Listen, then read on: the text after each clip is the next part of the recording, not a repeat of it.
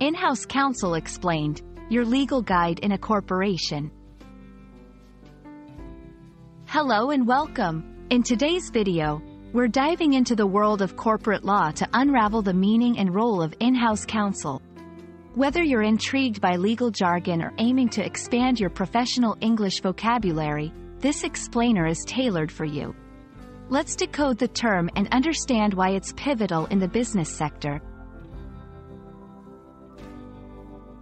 In-house counsel refers to a lawyer or a team of lawyers who are employed by a company or organization. Unlike lawyers in law firms who provide services to many clients, in-house counsel focuses solely on the legal needs of the company they work for.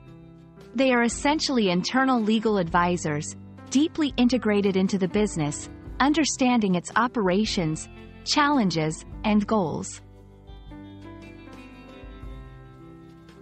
In-house counsel wear multiple hats within an organization. They are responsible for 1. Legal compliance, ensuring that the company adheres to laws and regulations.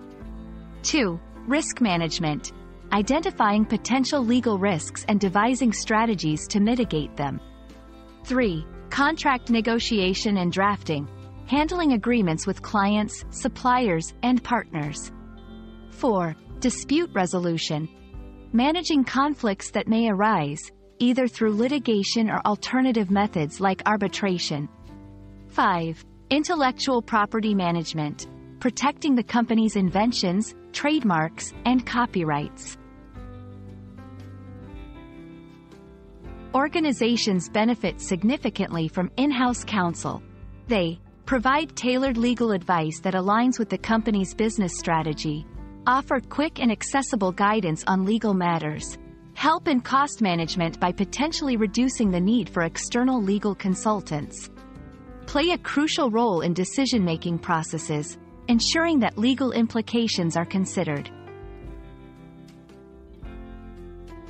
It's important to distinguish in-house counsel from external lawyers or law firms.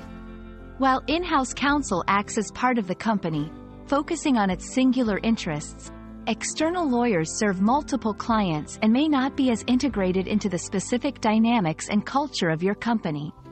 This difference highlights the unique position and value of in-house counsel in a corporate environment.